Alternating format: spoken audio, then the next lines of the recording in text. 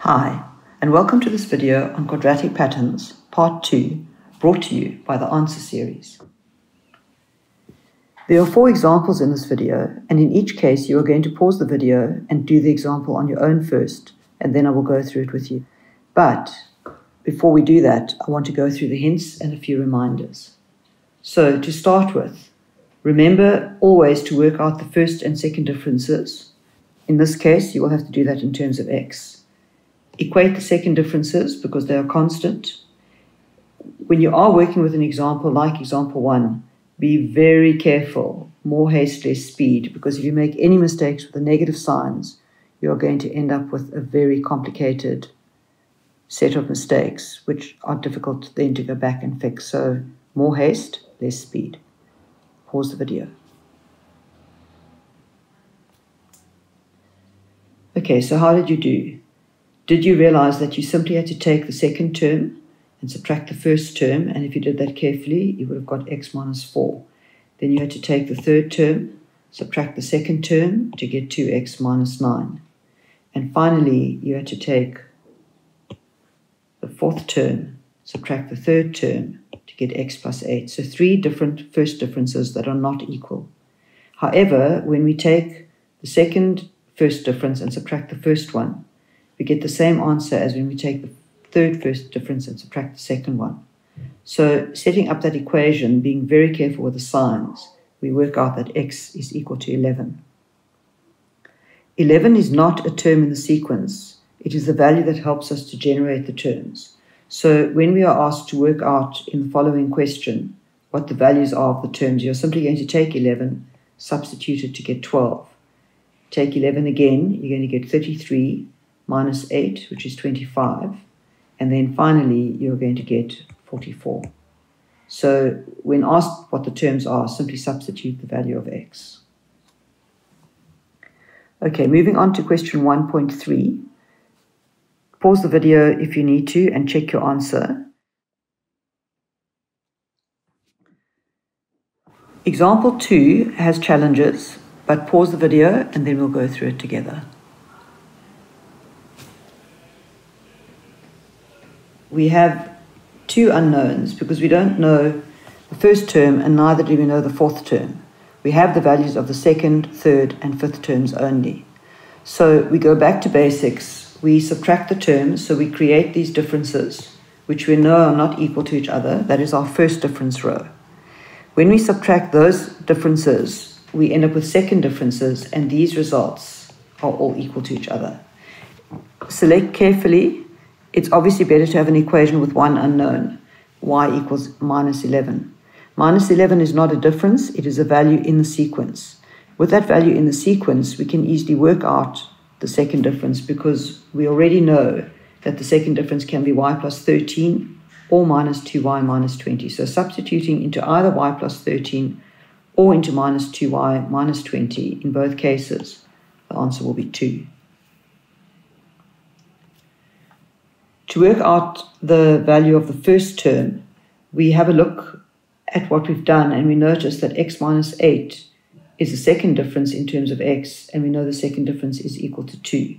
So equating those two results gives us x equal to 10, which in this case is the value of the first term. Pause the video, check your answers to 2.3, and when you're ready, we'll do example 3.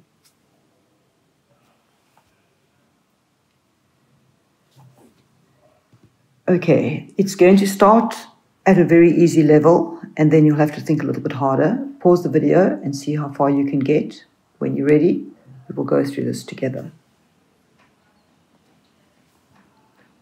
Find a formula for the general term of this pattern.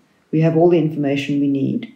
So we work out our first differences, use them to work out the second difference. Then set up your second difference equal to minus 6 and solve for A.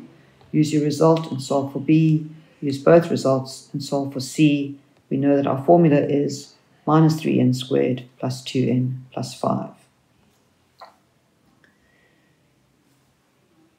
To work out t21 minus t20 is simply substitution. So you can do that in one go on your calculator or you can show your steps. So to get the 21st term, You substitute 21 to get the 20th term. You substitute 20. Subtract the results, and the difference between those terms is minus 121. Now, in 3.3, the question asks us to find a formula that will generate those differences between the terms, the first differences. So we start by looking at the first differences which we've worked with earlier minus 7, minus 13, minus 19. This is a simple linear pattern. The coefficient is the difference between those terms. So the coefficient of n is going to be negative 6. And then by inspection, we are simply going to work out that if we substitute 1, negative 6 is not the same as negative 7. We have to subtract 1 to work that out. If you don't enjoy inspection, you can go back to the formula an plus b, substitute the negative 6 immediately because that is the coefficient of n. And then by substitution, you can substitute minus 7 for the term value, 1 for the position, and work out from this equation that b is equal to negative 1. In 3.4, we are just going to substitute our n value, which is the difference that they're asking us to work out. The 20th first difference is literally just substitution into the formula that we worked out in 3.3.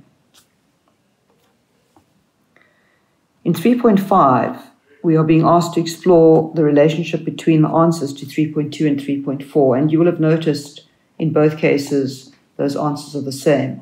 So the deduction that we're going to make is that the 20th difference is the same result as T21 minus T20.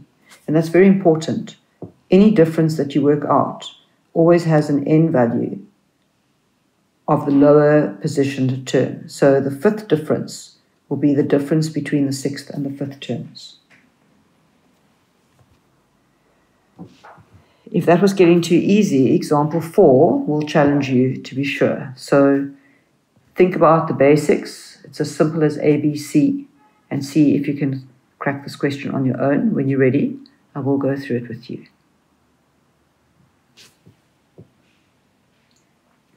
So, what are we going to do about the fact that we have so little information? We are going to set this up the way that we always work with our information. So, we would like to have a first term, which we don't have. We would like to have a second term. In fact, we have very few terms. Eventually, they give us a term. T12 is 180. So we're going to write in here 180. Now, we know that A plus B plus C is usually associated with the first term. So this blank is a little bit worrying, there's not much we can do about it. 3a plus b is the value of first difference, which we need to get our hands on. And the first difference is going to be t2 minus t1, which means it's going to be 2 times 1 plus 6, because the n value in the formula is the lower n of the two terms. So our first, first difference is going to be 8. The next first difference is going to be the same calculation again, but now we are going to work with 2 when we substitute, so we will get 10. Without knowing any terms, because of the first difference formula basically being given, we can actually work out that the value of 2a is equal to 2. So working backwards, we can still work out that a equals 1. We can use the 1, substitute into the formula, and work out that b equals 5. And now, by being creative, we can't work with A plus B plus C because we don't know what the value is, but we can still use a different variation on that theme. We can work out this term value is T12. So if we use 12 into the quadratic formula, Tn equals an squared plus bn plus c, we are going to substitute a equal to 1, and at the same time, we're going to substitute n equal to 12. So we're going to have 12 squared is 144 times 1. Then we are going to substitute b equal to 5 and n equal to 12 to get 60. We're going to add c, and that answer has to be 180. So c is going to equal minus 24. So we now know that the formula for this is Tn equals n squared plus 5n minus 24.